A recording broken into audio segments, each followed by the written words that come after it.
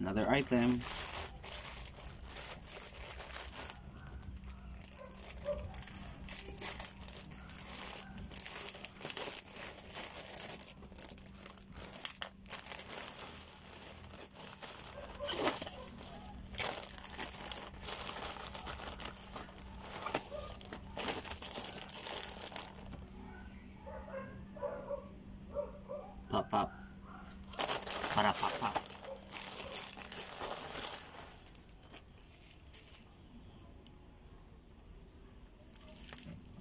Pag-iingatan ang bukas dahil sa mitya.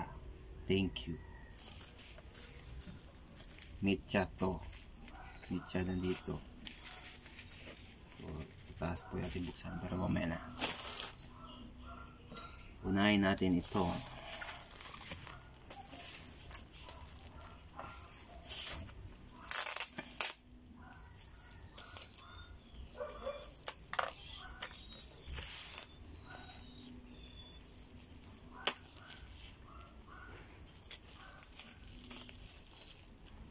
Oops.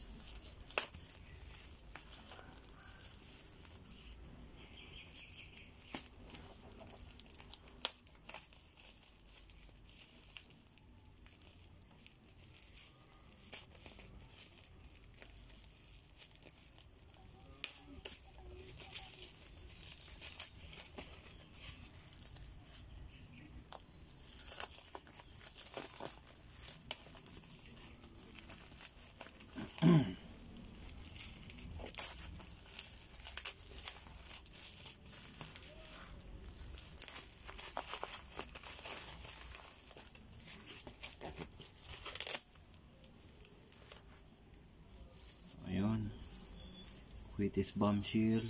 Bombshell. Quitis bombshell. bombshell. Quitis bombshell mga kapayro. So, meron tayo dito sa pack na ito. Lahat po. Ah. May yellow. May green. Yellow at green mga kapayro. Bombshell. Ay nako, bombshell.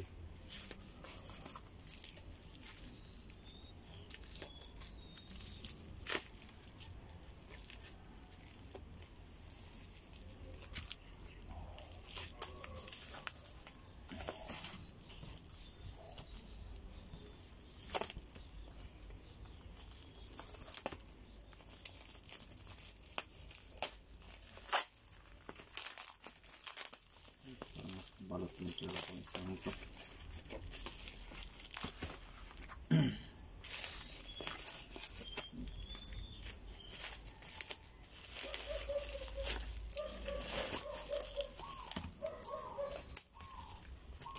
Yun. Bombshell ulit. Dito, yellow at green. 2, 4, 6, 8. 2, 4, 6, 8.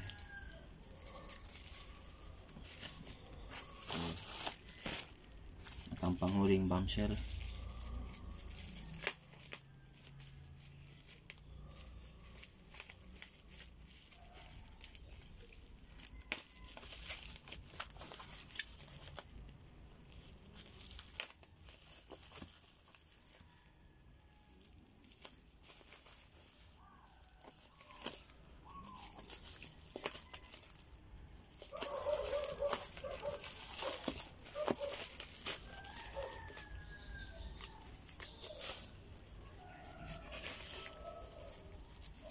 So, yellow green din mga kapayro. So, meron pa tayo dito 30 pieces na Quitis bombshell. Next, ang pinakahihintay ko. Ang Quinton.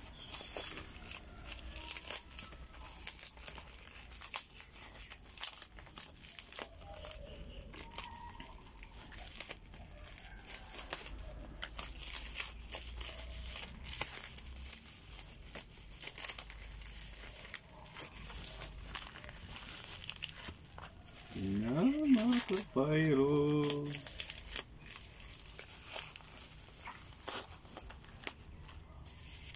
Oh my goodness.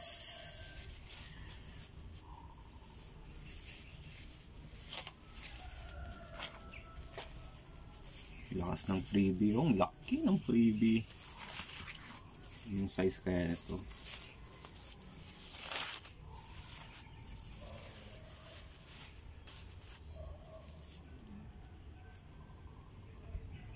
Ang bango.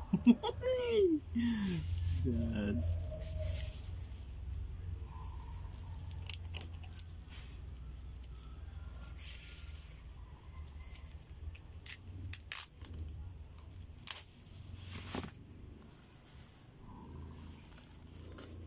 Halos natatanggal na yung mga pulbura boss sa freebie.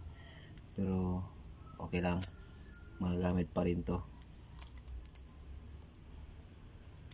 Loaded ito kapal. Ang laki. Salamat boss Carlo Belen sa freebie. At ito na po ang hinihintay ko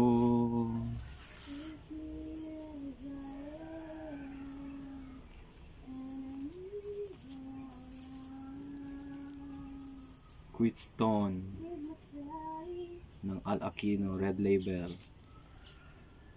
Goodness. Pwede nang pamalo sa ulo mga kapayro.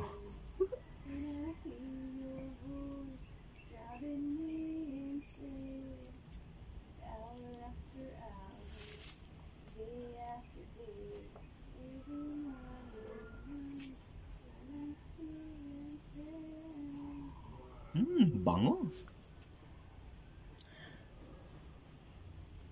Ikukumpara natin tong laki nito mga kapayro sa isang Bukawi Quiton. Saglit lang po. So, ah, ano pa? No bias lang tayo mga kapayro. Ikukumpara lang po natin ang product ng itong Quiton sa ibang brand ng Quiton. So, ito po yung isang Quiton ko dito. Ito yung Bukawi made. Ito naman yung sa Alakino Quiton. Kukumpara lang natin. Pero hindi naman po natin masasabi kung anong mas malakas dito. Pero alam po natin sa lahat na parehong so solid ang mga ito. So, kung isama natin ang laki nilang dalawa, so, klarong-klaro na mas mas mahaba yung bukawe. Pero sa bilog naman, mga kapayro, parang halos pareho lang. Tapos kung iyugyug natin, kung malalaman natin yung laman ng pulbura, sa bukawe, naririnig ko yung yung mit, ano yung pulbura sa loob na parang may espasyo. Samantala sa ito naman sa kwito ng Alakino, wala akong marinig na pulbura na gumagalaw. So, parang loaded talagang laman nito, mga kapayro. Yun na mga kapayro, oh, hinihintay ko itong Alakino. Sa wakas, may item na ako nito. Salamat Boss Carlo Belen sa item na ito. Mm, sarap sindihan to, i-testing. Salamat mga kapayro.